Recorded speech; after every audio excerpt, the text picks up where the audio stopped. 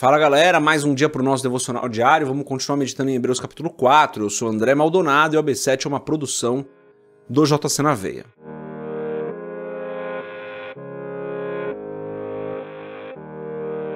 Hebreus capítulo 4, dos versos 3 a 7, está escrito assim: Pois nós, os que cremos, é que entramos naquele descanso.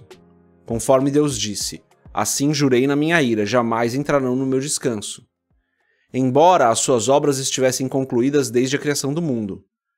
Pois em certo lugar ele falou sobre o sétimo dia nessas palavras: No sétimo dia, Deus descansou de toda a obra que realizara. E de novo, na passagem citada há pouco, diz: Jamais entrarão no meu descanso. Entretanto, resta entrarem alguns naquele descanso. E aqueles a quem anteriormente as boas novas foram pregadas não entraram, por causa da desobediência. Por isso, Deus estabelece outra vez um determinado dia, chamando-o hoje, ao declarar muito tempo depois, por meio de Davi, de acordo com o que fora dito antes: Se hoje vocês ouvirem a sua voz, não endureçam o coração. Até aqui, até o verso 7, vamos fechar os nossos olhos, curvar nossa cabeça e fazer uma oração.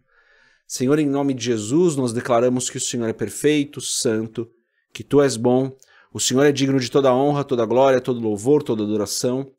O Senhor é digno. O Senhor é perfeito, o Senhor é fiel, o Senhor é o nosso Senhor, o nosso Pai.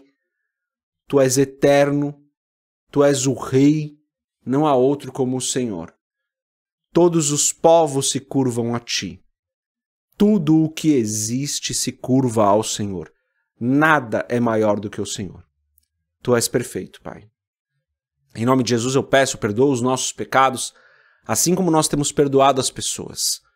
Tem misericórdia de nós que somos falhos, Senhor, e ajuda-nos nas nossas fraquezas.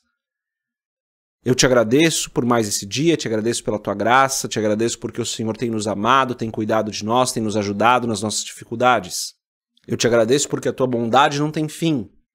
Te agradeço porque o Senhor nos abençoa sempre, porque nós estamos no seu descanso. Pela fé entramos no seu descanso, Senhor. Obrigado, Pai. Obrigado por tudo que o Senhor tem feito. Eu peço em nome de Jesus que o Senhor nos abençoe hoje, nos livre de todo mal, não nos deixe cair em tentação. Novamente, livra-nos de todo mal, Senhor, a nós e aos nossos familiares. Ajuda-nos nas nossas fraquezas. Guarda-nos, Pai. Guarda-nos para que nenhum mal nos aconteça. Nós precisamos da tua proteção, nós precisamos do teu cuidado. Abençoa-nos, eu peço, em nome de Jesus. Senhor, eu peço que o Senhor olhe para nós hoje e nos dê aquilo que nós estamos precisando. Alinhe as nossas vidas com a tua vontade. Alinhe os nossos desejos com a tua vontade, Senhor. Faz em nós aquilo que o Senhor precisa fazer para que nós cumpramos o propósito que o Senhor tem preparado para nós desde a fundação do mundo. Ajuda-nos a viver de acordo com a tua palavra. Ajuda-nos a viver para a honra e para a glória do teu nome. É isso que nos importa, Senhor, viver para glorificar o teu nome. Em nome de Jesus eu peço também que o Senhor abençoe os nossos familiares que ainda não se converteram, que ainda não entenderam que precisam entregar as vidas a Cristo. Que o Senhor os alcance com o teu Espírito Santo, eles se arrependam dos seus pecados e confessem que Jesus Cristo é o Senhor e Salvador da vida deles. É o que eu peço em nome de Jesus. Amém. Antes da gente continuar, você já sabe, se você não é inscrito no canal, se inscreve, compartilha o AB7 com outras pessoas, compartilhe o AB7 com outras pessoas. Não se esqueça disso. E dá uma olhada nos links que estão aqui na descrição, porque você pode aí é, entrar nas nossas comunidades, você pode ajudar o canal, você pode comprar o livro Muito Além de um Pai, fazer uma série de coisas. Perfeito. É, lemos aqui então dos versos 3 a 7, né? um texto um pouquinho mais longo hoje. E fala, né? Pois nós, os que cremos, é que entramos naquele descanso, falando do descanso que falamos ontem. Conforme Deus disse, assim jurei na minha ira, jamais entrarão no meu, no meu descanso embora suas obras estivessem concluídas desde a criação do mundo. Ou seja, o descanso de Deus está pronto para nós desde sempre. Esse descanso já está preparado. Verso 4: Pois em certo lugar ele falou sobre o sétimo dia, nessas palavras, no sétimo dia Deus descansou de toda a obra que realizara. E de novo, na passagem citada há pouco, diz: Jamais entrarão no descanso, falando do povo de Israel que saiu do Egito. A gente já falou disso uns dias atrás, espero que você se lembre, se você está acompanhando aqui o devocional todos os dias, que é o certo, né? Você fazer o devocional todos os dias, não precisa ser aqui comigo, mas você fazer o devocional todos os dias, você sabe do que a gente está falando. É, daí fala no verso 6: Entretanto, resta entrarem alguns naquele descanso, e aqueles a quem anteriormente as boas novas foram pregadas não entraram, por causa da desobediência. Então, a desobediência do povo de Israel no passado fez com que alguns deles não entrassem no descanso. Veja só como o autor aqui está usando toda a história do êxodo do povo de Israel até a entrada na Terra Prometida como uma analogia para o descanso que Deus tem preparado para nós e nós entramos nesse descanso pela fé. E nós temos que ter fé para entrar nesse descanso, porque o povo de Israel não teve fé, foi desobediente a Deus e eles não entraram no descanso que já estava preparado para eles.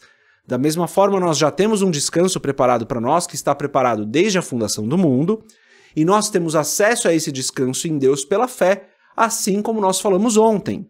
Acho que ontem a gente conseguiu explorar bem esse assunto, né? É, e daí fala no verso 7. Por isso Deus estabelece outra vez um determinado dia, chamando-o hoje, ao declarar muito tempo depois, por meio de Davi, de acordo com o que fora dito antes: Se hoje vocês ouvirem a sua voz, não endureçam o coração. Nós temos a mesma oportunidade que o povo de Israel teve. Claro, não de entrar numa terra prometida física, como eles tinham, né? Eles conquistariam Canaã, eles entrariam na terra prometida para o descanso de Deus.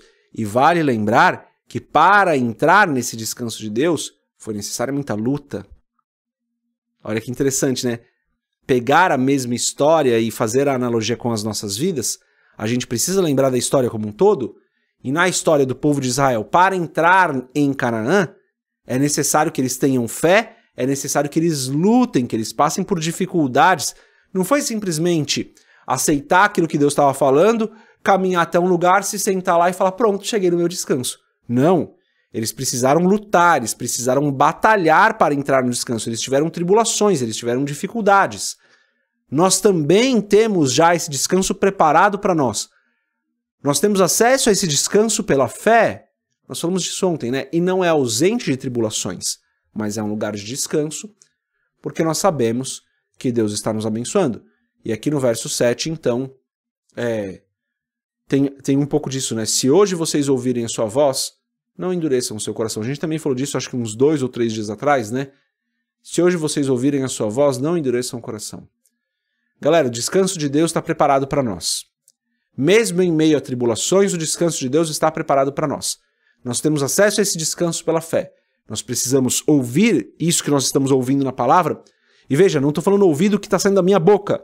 Estou falando ouvir aquilo que a palavra está gritando aos nossos ouvidos, que nós estamos lendo, na verdade, né? Mas, é, de novo, numa analogia, que a palavra está gritando aqui aos nossos ouvidos, dizendo: existe um descanso preparado desde a fundação do mundo esse descanso ele é acessado pela fé e ele não é a ausência de tribulação.